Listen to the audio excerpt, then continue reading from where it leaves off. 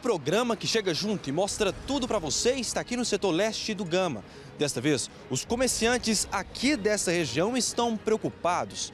Isso com a falta de segurança durante a madrugada, nessa comercial da quadra 38 do setor leste do Gama.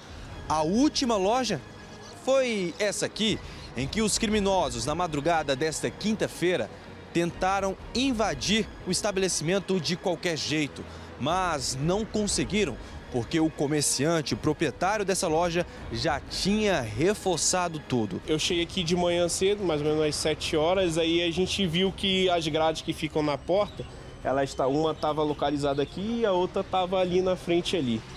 Aí o menino que trabalha com a gente achou meio estranho, aí eu fui ver o que, que era quando eu constatei que tava, os cadeados foram retirados, né?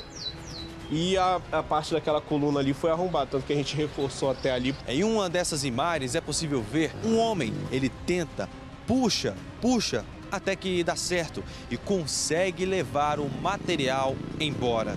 Os comerciantes aqui, inclusive, suspeitam que seja a mesma pessoa em todos esses furtos.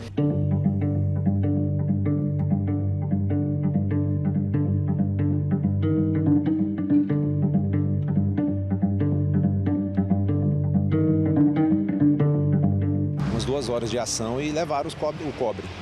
Fio exposto, no outro dia eu estive no local vendo fio exposto e não leva nenhum choque, né?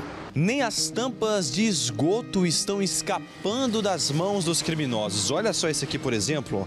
Os moradores estão tendo que improvisar, os moradores os comerciantes. A gente até viu nas imagens, eram os carroceiros que passaram aqui na, na rua de trás aqui e pegaram as tampas tudinho. À luz do dia mesmo, pegaram essas tampas de poeira. O senhor teve que adotar qual medida para evitar isso? Eu tive que soldá-los. Eu soldei para evitar a situação. A sensação é de insegurança. Sem dúvida. Segurança, né? Os comerciantes até registram a ocorrência na 14ª Delegacia de Polícia, que agora está investigando este caso. Mas mesmo registrando, eles ainda têm medo em saber quem será a próxima vítima desses criminosos. DF alerta, se a verdade grita, de que lado você fica?